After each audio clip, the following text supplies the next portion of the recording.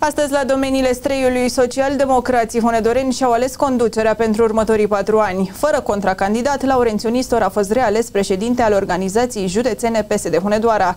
Probabil cel mai experimentat lider al PSD din Ardeal, Laurențiu Nistor, a fost în conducerea partidului la cel mai înalt nivel. Sub Victor Ponta, Liviu Dragnea, Viorica Dăncilă și acum Marcel Ciolacu, prim-ministrul României și președintele PSD, care a ținut să fie prezent la conferința de alegeri.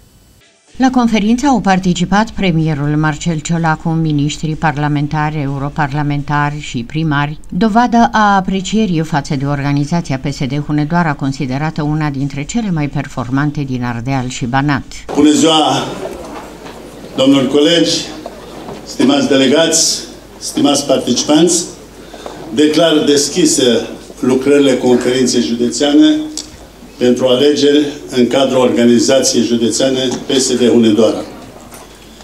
De la început o să vă spun că dacă cândva mai sunt emoții, momente de emoție, să mă scuzați că este normal, când veți un prezidiu precum cel din fața noastră, cu atâția invitați deosebiți, când vedem o sală atât de plină, este mai normal să-ți mai transmită cineva și emoții, dar trecem peste ele. În ciuda emoțiilor, având un palmares impresionant în politică și administrație, Laurențiu Nistor a câștigat la pas un nou mandat de patru ani la șefia organizației județene PSD Hunedoara, susținut fiind și de președintele PSD Marcel Ciolacu. Îl cunosc foarte bine pe domnul Laurențiu Nistor.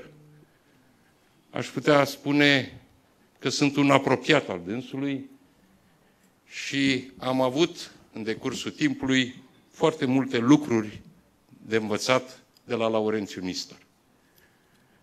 Îmi place să cred că numai lucruri bune, poker n-am învățat, în schimb l-am văzut cum joacă. Nu rămâne niciunul întreg de la masă. Dragi colegi, în primul rând am venit cu mare bucurie aici la dumneavoastră, în ținutul Marului Erou Național Avramiancu și la una dintre cele mai puternice organizații a Partidului Social Democrat. Vă felicit pentru tot ce ați făcut.